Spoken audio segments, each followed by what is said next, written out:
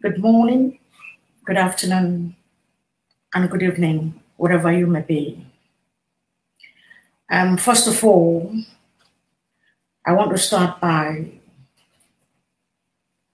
by thanking all the people, like thanking IPOB Germany for the protest and for standing with Mazi Nnamdi Kanu. I want to thank um, um, Brazil. I want to thank United States of America for all their effort and for standing with him at this point in time.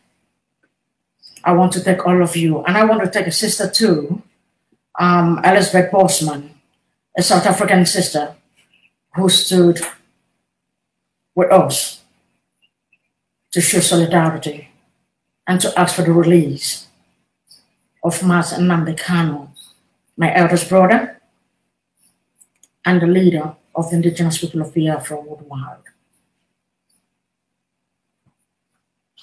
Um,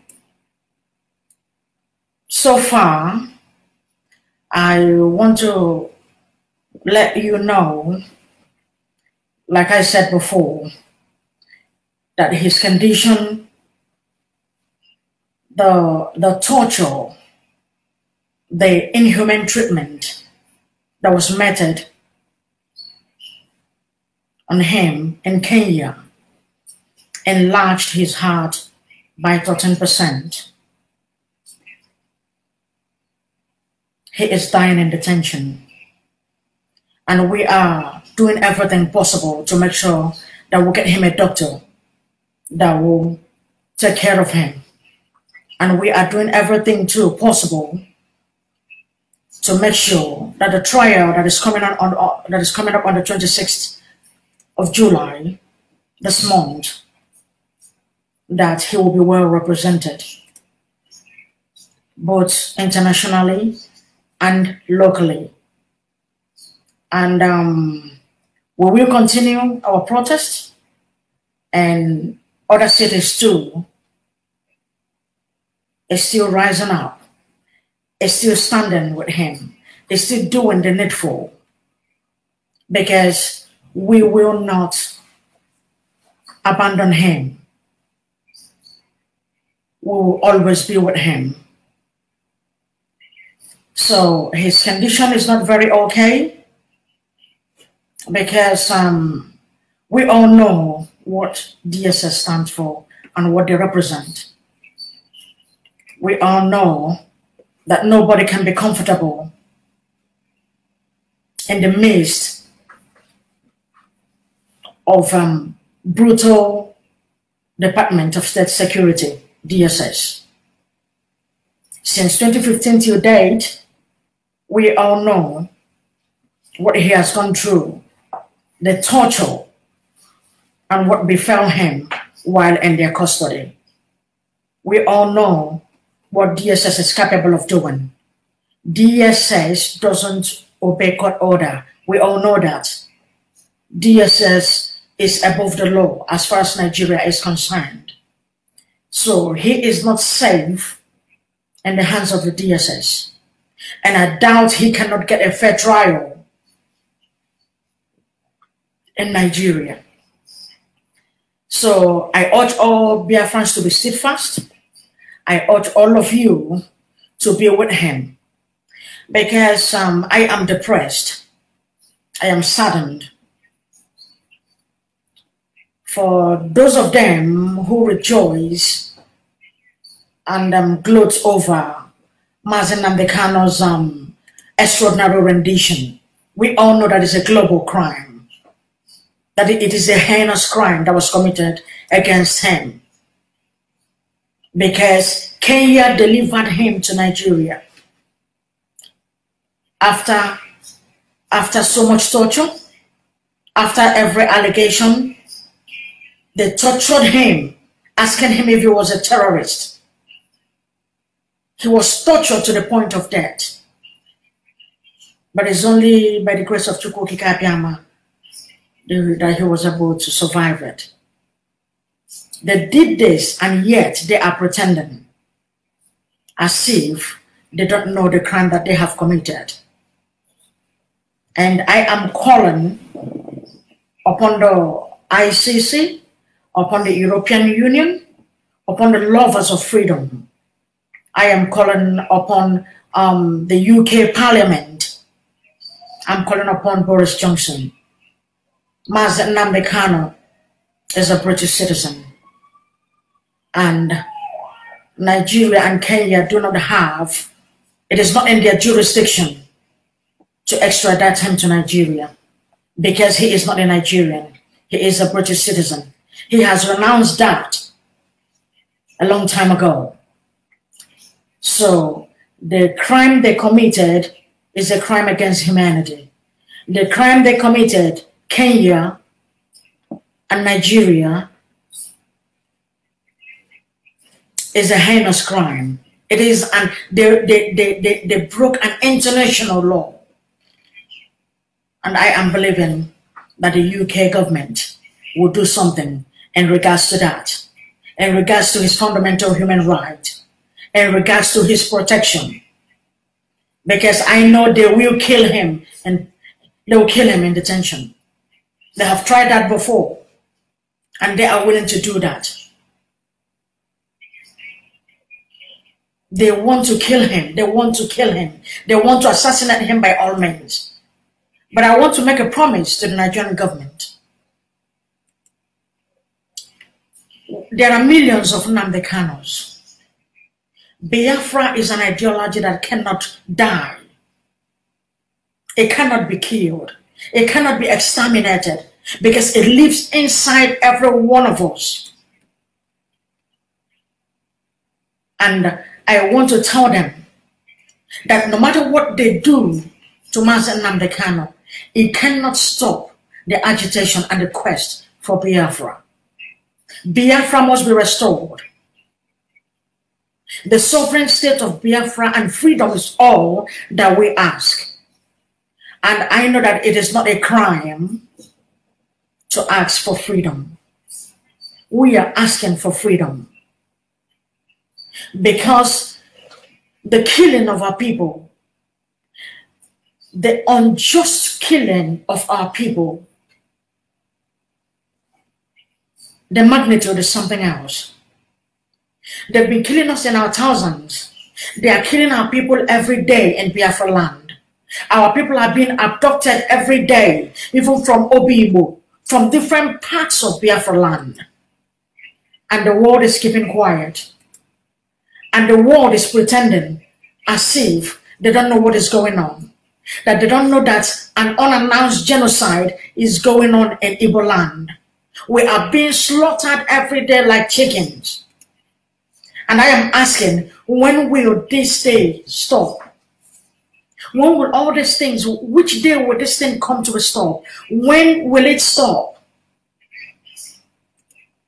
Our mothers cannot go to the farm. When they go to the farm, they are raped. When our sisters go to the farm, they are butchered. bits by bits and dump everywhere. Who is going to protect us? Mazi Nnamdi Kanu is the mouthpiece of the Biafrans. Mazi Nnamdi Kanu. He is the eyes that we see. Mazi represent justice for all evils. Mazi Nnamdi Kanu represents freedom for all, not just the Biafrans. He's even fighting for the Northerners as well. I don't know why there is so much hatred against Mazi Nnamdi Kanu and the Igbos and the IPOB. I don't know what we have done we have never carried arms against the Nigerian state. We have only come out with our flags and our phones to protest. Instead of us to listen, instead of them to listen to us and dialogue with us, they clamp down on us. But they treat terrorists in the north with a kid's glove. And you are telling me that it's something like one Nigeria.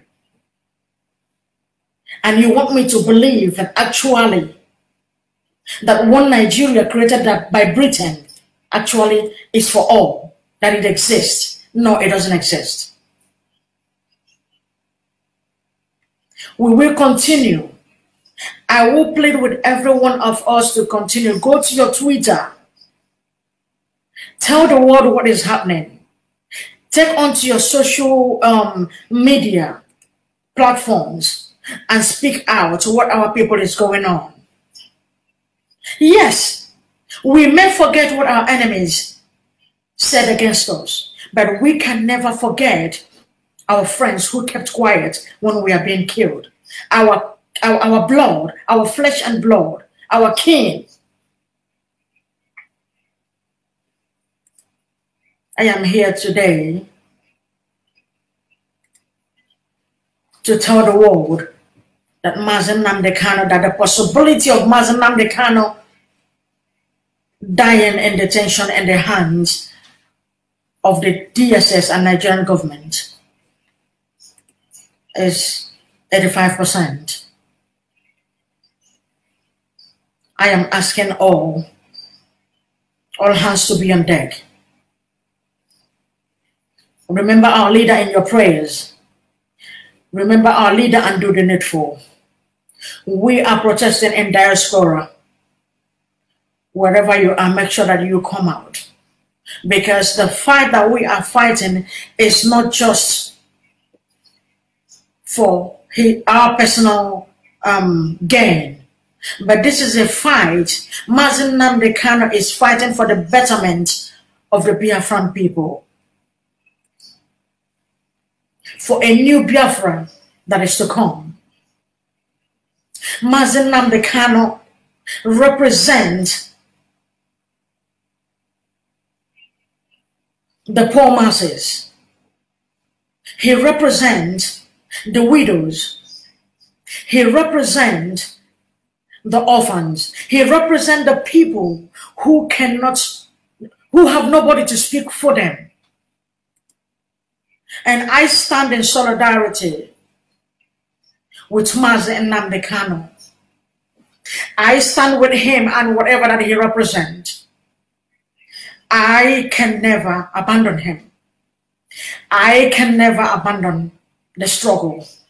We will continue because arresting him, I think, is one of the biggest mistakes Nigerian government have ever made because they don't have any right to extradite him from Kenya, tortured him, kept him in a dehumanizing condition, and smuggled him into Nigeria. Have you ever asked yourself what transpired? What happened? You knew how brutal they are. These are people who do not have value for human lives, people who do not respect the right of a person.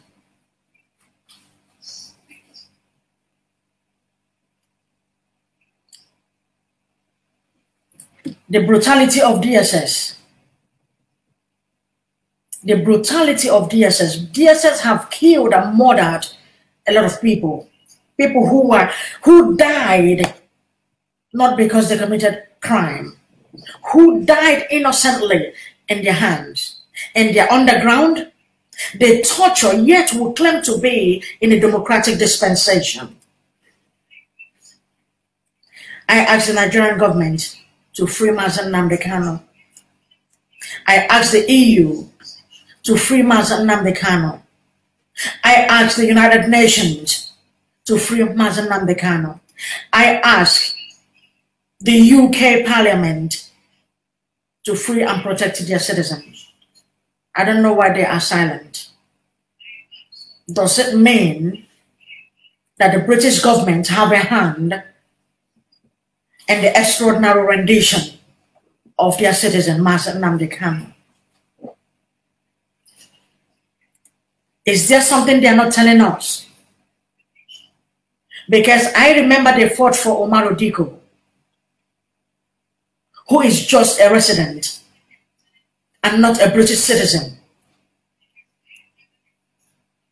When he was extradited, they fought for him. I don't know. Is it because of the revolutionary principles of Mazi Nnamdi Kanu? Is that why Britain is keeping quiet? Is that why they are not doing anything to protect the fundamental human right of Mazi Nnamdi Kanu, who happens to be a British citizen? Free Mazi Nnamdi Kanu. He did nothing wrong. He is not wrong by calling for self-determination. He is not wrong by calling for his people's freedom. He is not wrong for saying enough is enough, stop killing my people. They did nothing wrong.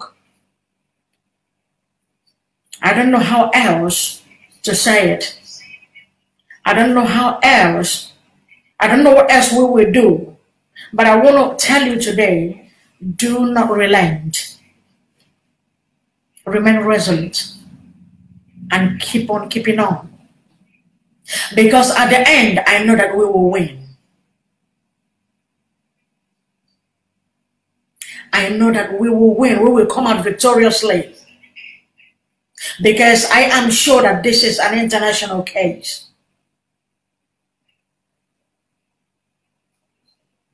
So I want to ask the Nigerian government if they have this capacity to uh, um, to carry out an extraordinary rendition or a forceful rendition on Mazi Nnamdi Kanu from Kenya to Nigeria. Does it mean that they cannot do the same in the Sambisa? Does it mean that they cannot combat the terrorists, the Fulani terrorists that is ravaging and displacing people in their homes in the north? Does it mean that they cannot clamp down on them? Does it mean that Nigerian government doesn't have what it takes to stop this impending doom that is ravaging the entire Nigerian nation? Does it mean that the Nigerian government do not know who these Fulani terrorists or headsmen are? Because Miyetti Allah comes out openly and says that they are the ones responsible for the chaos and for the killings and for the displacement of people in Nigeria. And yet, the Nigerian government is keeping quiet because they are the sponsors of Fulani Hesman and Boko Haram. They sponsor them. They give them amnesty they recruit them into the military.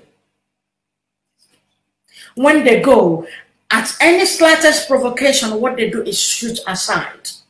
The same thing they did when they came to our house in Afaraukwu Ibeku in 2017. The day they came with their armored tanks and their, um, what is it called? Is it the um, gunship or whatever it is called, the helicopter gunship that was hovering the whole of the village. What, which one are we going to? Is it the uh, Isu um, airstrike? They have been using airstrike on our people. They have been using airstrikes in Igbo land, killing our people. Yet the world is keeping quiet. Our people are being slaughtered every day. The Fulani controlled government want to exterminate the Igbos from Biafra land. They want to kill all of us. And I don't know why what we did to deserve all this. We are not people, we are not terrorists. We are freedom fighters we are asking to have our own independent state. because of a lot of things that the Fulanis have done. They have committed heinous crimes against humanity. The slaughter of people in the north, the slaughter of Christians in the north, the slaughter of um, um, IPOB protesters since 2015 till date, their abduction, they kill us at will.